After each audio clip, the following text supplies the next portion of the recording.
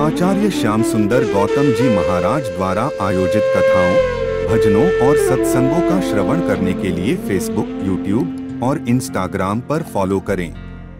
यदि कोई भी जो यूट्यूब में देख रहे हैं, मैं उन सभी से निवेदन करना चाहता हूँ कि जो भी आप मंदिर से जुड़ना चाहते हैं और मंदिर में आप सहयोग प्रदान करना चाहते हैं तो जो स्क्रीन में जो नंबर फ्लैश हो रहे हैं, आप उस नंबर पर कॉल करके सहयोग प्रदान कर सकते हैं। चाहे कोई एक रुपये भी दे, उसका भी बहुत बहुत सम्मान है। लेकिन ट्रस्ट के द्वारा ऐसी व्यवस्था बनाई गई है कि जिसका भी सहयोग इक्यावन सौ से ऊपर ऊपर का होगा, अधिक होगा तो उसका नाम जब मंदिर निर्माण पूरा हो जाएगा तो उस पत्थर पर, वहाँ पर श्री सिद्ध नागेश्वर धाम में अंकित हो जाएगा। सौभाग्य की बात है, नहीं तो मरने के बाद तो संतान भी नहीं पूछती। मरने के बाद तो जो हमारे फ़ोटो होते हैं ना तो लोग सोचते हैं कि अरे बैठक में भी क्यों लगाएँ मरे हुए लोगों की फ़ोटो तो किनारे कर देते हैं। हाँ। तो कोई याद नहीं करता मरने के बाद।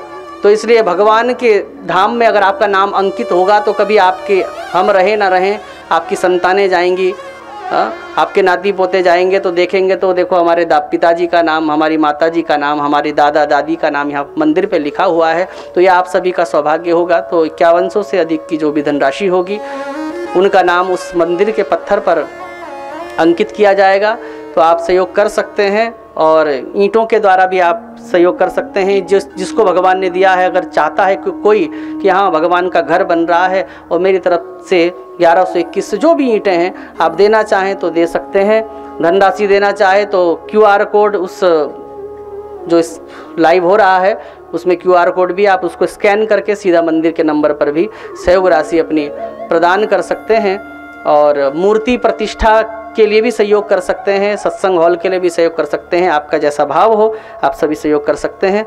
तो पुनः आप सभी के लिए ये जानकारी मैंने प्रदान करी है।